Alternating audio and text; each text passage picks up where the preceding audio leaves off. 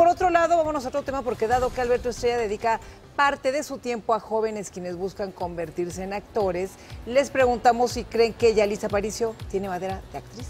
¿Será? Alberto Estrella comparte detalles de su faceta como director de la Academia de Actuación de Carla Estrada. Dice cómo ve a las nuevas generaciones que se acercan a él para ser actores y además habla de si le ve futuro en el mundo de la actuación a Yalitza Aparicio. Yo soy muy estricto. He tenido la fortuna de estar en todos los medios, de haber escuchado a los mejores maestros y de haber estado también con directores pésimos, terribles. Esto me ha hecho que mi mente tenga una amplitud muy grande para saber qué sí funciona y qué no. Ya muchísimo se ha dicho de cómo están ellos Em, digamos, eh, muy involucrados con la parte tecnológica y muy olvidados de su parte interna, muy olvidados de este, eh, pues esta conexión que debe haber con lo que leen, con lo que ven, con lo que piensan. El actor revela que muchos jóvenes lo buscan para que los prepare en un par de meses y así poder convertirse en estrellas de la televisión.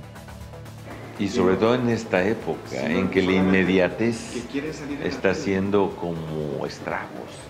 Porque ojalá fuera nada más salir en la tele, si no es ya tener el estelar. Ya. O que han llegado a pedir una preparación de tres meses, de tres meses para poder ya ser actores. O sea, como si fuera una receta, como si en un, en un curso pudieran ellos ya, ¿verdad?, salir preparados. En su adolescencia, alguien le dijo que no tenía nada para ser actor. Sí, pero no fue mi maestro, fue un amigo de mi papá.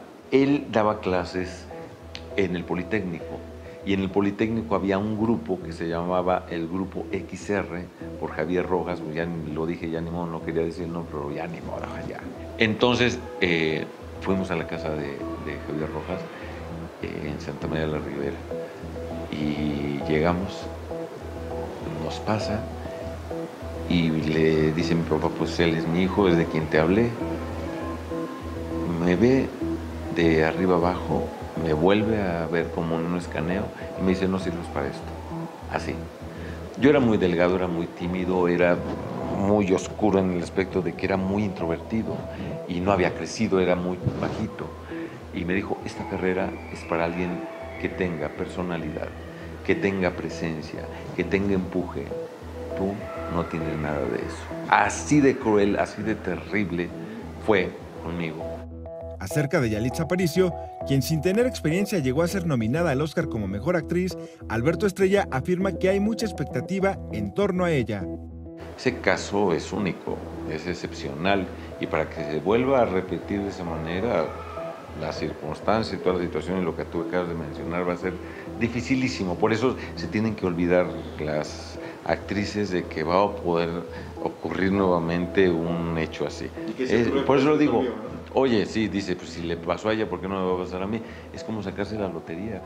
A mí me parece que es buena su actuación en Roma, me parece que la dirigieron muy bien, pero ahorita viene la prueba de fuego para ella, porque muchísima gente está esperando el siguiente trabajo y eh, pues eso va a determinar para ella sobre todo pues eh, parte de su futuro.